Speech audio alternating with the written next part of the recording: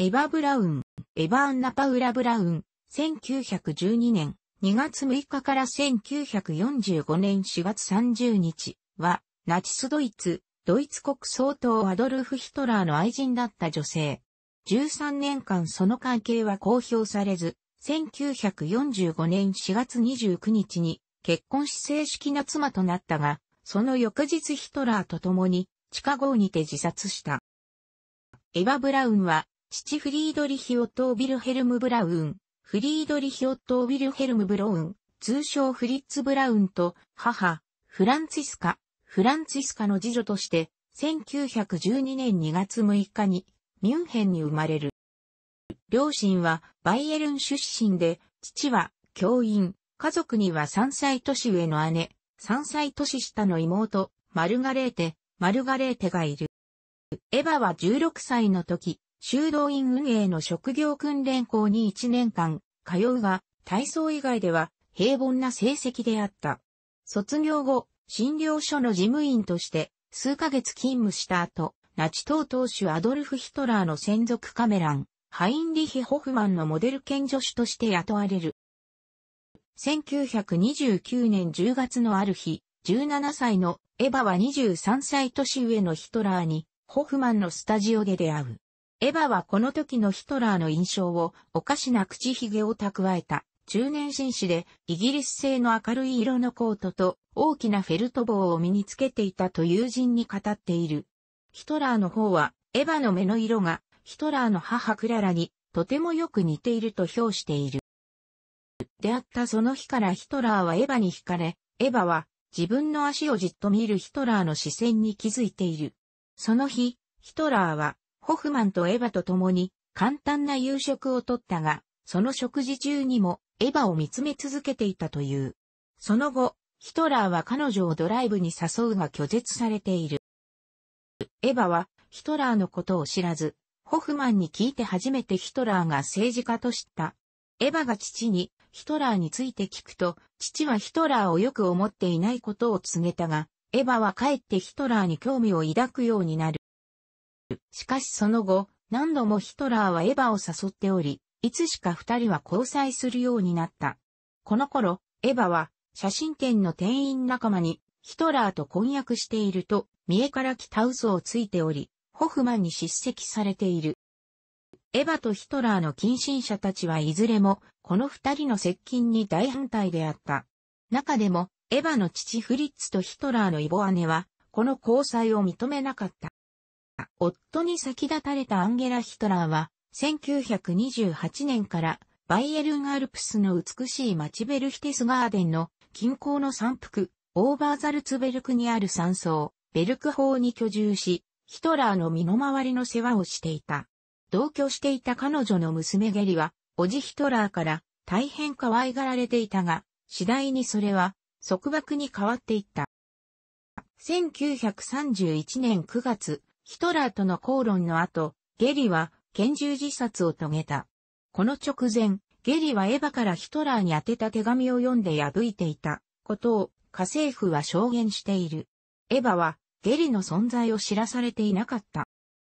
ヒトラーはゲリの死にショックを受け憔悴するが、結局は19歳のエヴァがゲリの代わりにヒトラーの傍らで暮らすことになる。エヴァの日記によると、その時期は1932年の春頃とされる。しかしヒトラーには他にも交際が噂される女性がおり、女優の1907年から1937年への嫉妬はエヴァを苦しめた。エヴァはヒトラーに対して深い愛情を抱いており、あまり男性としての自信がなかったヒトラーに、性的満足も得たいのなら、他の男と付き合いなさいと忠告されても離れることはなかった。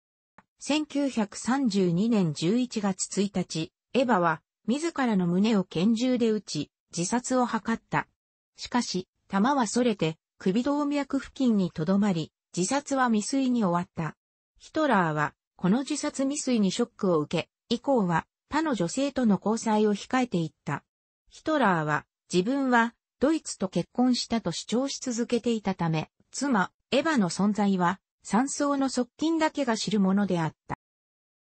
ヒトラーは1933年の首相就任や1934年の総統就任などで多忙な日々を送るようになり、エヴァの元を訪れる回数も減少した。エヴァはヒトラーの愛情に疑問を抱き、1935年5月28日、睡眠薬の服用による二度目の自殺を図る。エヴァが飲んだ睡眠薬は危険性が低いものであり、命に別状はなかった。この時、エヴァの姉イルゼは自殺が狂言と見られることを恐れ、エヴァの日記を破り取っている。また、9月には父親のフリッツがヒトラーに娘を家族のもとに返してくれるようにという趣旨の紙を書いた。この手紙はフリッツに託されたホフマンを通じてエヴァに渡り、彼女は手紙を破り捨てた。また、母のフランチスカも直接ヒトラーに同じ趣旨の手紙を書いたが、この返事もなかった。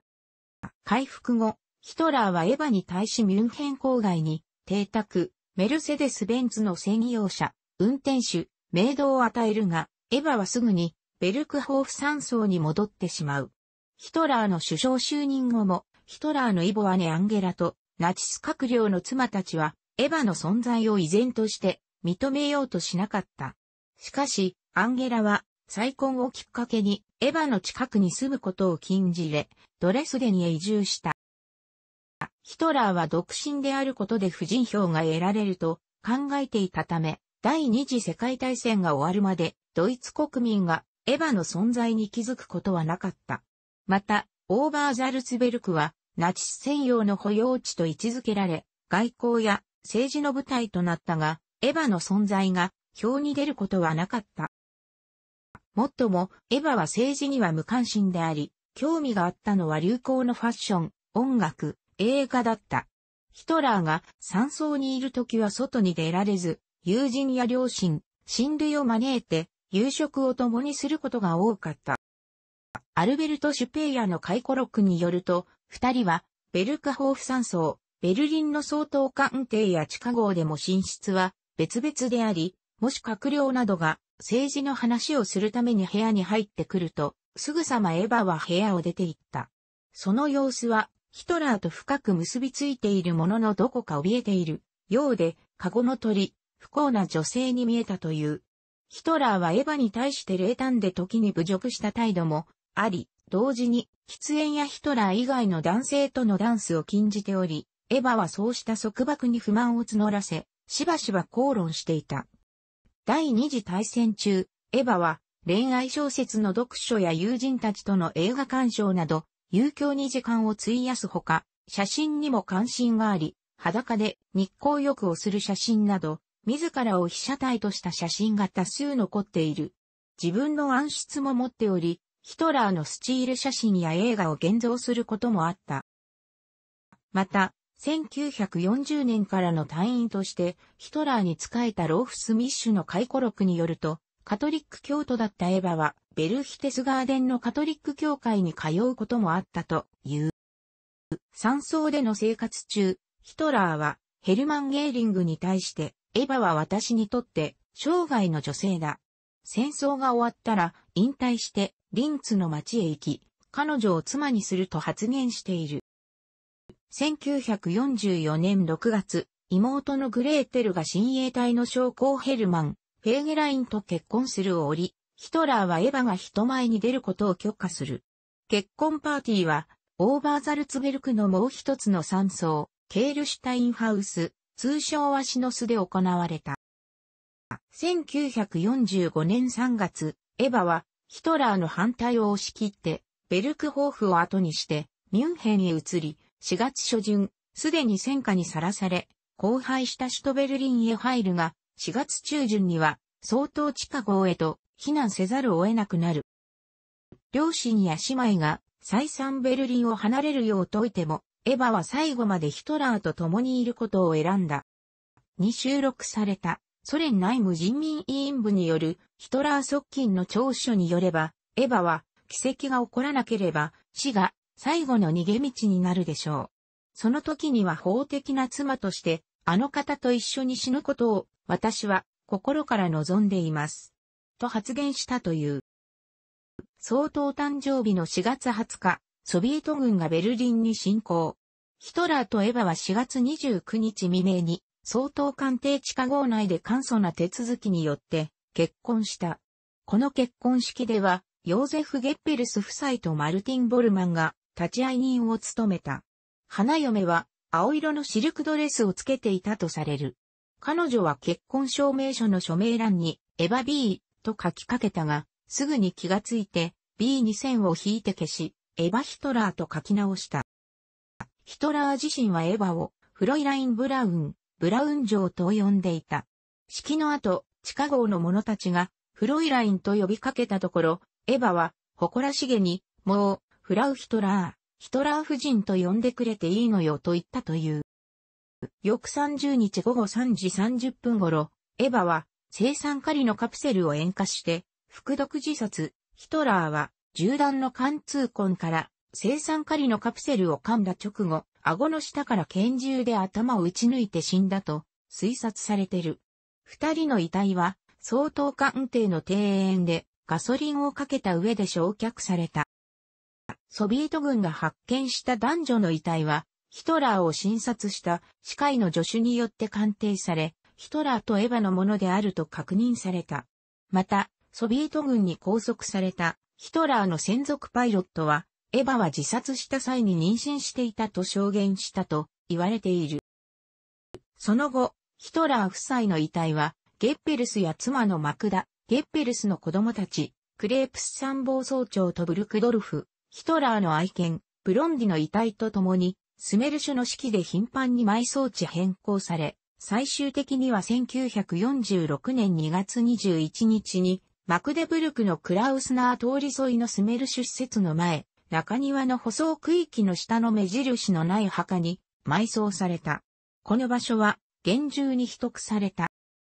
しかし、遺体の埋葬地は1970年に KGB のコントロールした東ドイツ政府に移譲されることになった。ヒトラーの埋葬場所がネオナチの聖地になることを恐れた KGB 議長のユーリアンドロポフは退任以外を破壊する許可を与えた。KGB の発掘チーム、アルヒーフは詳細な埋葬場所を指示され、1970年4月4日、密かに10体の遺骸を掘り出して、完全に焼却し、ハイオエルベ川の支流に散骨した。エヴァの父フリッツは、戦争を生き延びた後、病院で職に就き、1964年に死亡。母のフランチスカは、バイエルンの農村で生涯を過ごした後、1976年に96歳で死去した。アネイルゼは国家社会主義に懐疑的だったため、エヴァのいる山荘を訪れることは稀で、エヴァの生活をしばしば非難することもあった。1979年に71歳で死去した。妹グレーテルは夫フェーゲラインの子を身ごもったが、夫は敗戦が決定的になると別の女性を伴ってスウェーデンに逃げようと企てたとして捕らえられ、ヒトラーの命によって銃殺されている。グレーテルは当時妊娠8ヶ月で姉の死の5日後に生まれた女児に、姉の名を取り、エヴァ・バーバラ、1945年から1975年自殺と名付けた。1954年には、織物賞のクルト・ベルリングホフ、カート・ベアーリンホフと再婚。1987年に72歳で死去した。2014年4月5日、エヴァが使っていたとされているブラシから採取された髪の毛を検査した結果、彼女のミトコンドリア DNA は、ハプログループ N1 ビット1であることが判明したと、イギリスのインデペンデントなどが報じた。エヴァは手書きの日記を綴っていた。この日記は終戦直後にアメリカ軍によって押収され、現在はアメリカ国立公文書記録管理局に収蔵されている識別紙692万1915。戦後間もない1945年11月、上記のものとは異なる、エヴァの日記とされるタイプうちの文書が発見された。この日記を入手したと証言したのは、山岳映画の俳優で、監督でもあったであった。トレンカーは1944年の冬に、キッズビューエルを訪れていた、エヴァ自身から日記を受け取ったとしている。トレンカーは日記を公開する前に交渉人に中身を確認させて、本物かどうかの確認を求め、交渉人からは包み紙にエヴァのイニシャルである EB が記されていることを根拠とした日記が本物であることを証明する確認証を受け取ったとしている。このタイプ打ち日記によると、エヴァは1942年の春に妊娠が判明し、夏にはヘルタリントという偽名を使って滞在したドレスデンで男児を出産したという。また、日記にはエヴァが出産した男児について、これまで実子がいないとされてきたヒトラーの子供であることを伺わせる記述があるほか、エヴァがの下着をつけるよう、ヒトラーに強要されていた映画監督のレニリー・フェンシュタールが、ヒトラーの前で裸で踊った、ヒトラーは週に一度温めたオリーブオイルの風呂に入ったなどの記述がある。1948年9月3日が発行するタブロイド紙、ボーコ年度は、エヴァの日記の連載をスタートし、多くのドイツ人に読まれることとなった。しかし、エヴァの家族であるブラウン家の反応は完全に否定的であった。エヴァの母、フランツィスからはこのタイプ打ち日記は偽物であると確信しており、ヒトラーの前で裸踊りをしたと日記に書かれたリーフェンシュタールと共に訴えを起こした。また、ヒトラーの周辺に仕えていた人物も証言を行い、1942年から総統秘書を務めていたトラウデジユンゲはエヴァが日記をつけていたかどうかは覚えていないと証言する一方、エヴァはシャモア側の下着などつけておらず、通常のものであったとし、ヒトラーの専用車運転手だったエーリヒ・ケンプカは、ヒトラーはドライブのたびに熱い風呂に入るのが習慣であったと証言している。またエヴァが南チロルのホテルに行ったのは1942年が最後であり、トレンカーに対しても嫌な人間であるという印象しか持たなかったという。9月10日、バイエルン州の裁判所は、日記は偽物であるとして、公開の仮差し止め命令を下した。オリンピア出版が発行を継続するためには、著者がエヴァではないと言明する必要があるとされ、ドイツ国内における流通は行われなくなった。エヴァの評伝である、エヴァ・ブラウン・ヒトラーの愛人の著者であるはこのタイプ打ち日記を、ずうずうしいイカ様とし、こう述べている。著者があえてイカ様という単語を用いるのも、1948年9月10日付の布告で、ミュンヘン民事裁判所は、出版社に対して、虚偽の日記を頒布した角で、多額の罰金と禁錮6ヶ月に処す旨発表したからである。裁判所はこの書籍の回収を命じるとともに、問題となった記録は存在しないことを明確にした。結局いわゆる個人的日記は事実と全く矛盾することが広く証明されるに至った。中略エヴァ・ブラウンの手紙を読んだり、彼女が住んでいた住所を訪れたり、住所録、死の記録保管所、電話帳を調べるだけで、その本がいかに高等無形な代物であるか判然とする。その本の作者たちは、一流戯作者として必要な文才をまるきり持ち合わせていなかった。想像力にも欠けていた。もともとこの訴訟に興味をかき立てられていた、ある一人の女性立会人は、調査が進むに従って愉快な発見をした。このインチキは、回想録が、実は、その大部分がラリッシュバレル税伯爵夫人が昔、書いた本からの借り物であったことが分かったのである。その本というのは、ハプスブルク家のルドルフ大公とマリー・フェツェラ、男爵夫人との秘伝を扱ったものだった。戯作者たちはこの歴史的物語を、逐一、コンマ通りに各章をそっくり写し取り、単に登場人物の名前を変えたに過ぎなかった。これが暴露された後は、疑惑の雲は跡形もなく吹き払われ、世間はことの次第を満足そうに眺めたのである。1948年10月の段階で、ヒトラーの生活に関する部分は、伯爵夫人の著作を下書きにしたとに指摘されているが、誰が制作したかについては、現在も不明である。母、フランツィスカをはじめとする人々は、トレンカーによる偽作ではないかと推定している。トレンカー自身は、自分が執筆したわけではないと述べ、日記公表に参加したのも、ただの冗談だったとベルナー・マーザーとのインタビューで答えている。マーザーはトレンカー自身が制作したものではないと見ている。しかし以降も、イギリスやフランスなどで真実のエヴァの日記として販売が続けられている。アラン・バートレットが2000年に出版したエヴァ・ブラウンの日記、ティー・リリー・オブ・エヴァ・ブロンの日本語訳者である深井昭一はトレンカート・ロンドンを拠点とする出版業者、そしてマット・アイリッシュと呼ばれていた古参のイギリス諜報部員が日記の中身について登場してくる事件やエヴァのナチ指導者に対する考えなどから判断し、整合性があると認めている。と記述している。ルドルフ・ヘス暗殺説等を唱えるヒュー・トマスは、エヴァの遺体は本人のものではないと主張している。